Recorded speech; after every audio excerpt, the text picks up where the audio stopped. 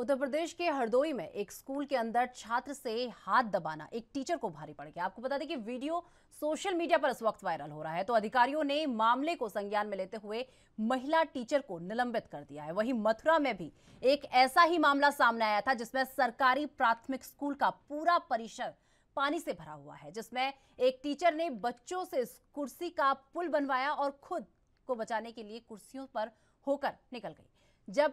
इसका video viral हुआ तो प्रशासन ने तुरंत इस पर एक्शन लेते हुए टीचर को सस्पेंड कर दिया और उधर हरदोई में जांच अधिकारियों ने वीडियो को देख टीचर के खिलाफ कार्रवाई की और खंड शिक्षा अधिकारी द्वारा जांच के बाद विभागीय कार्रवाई होगी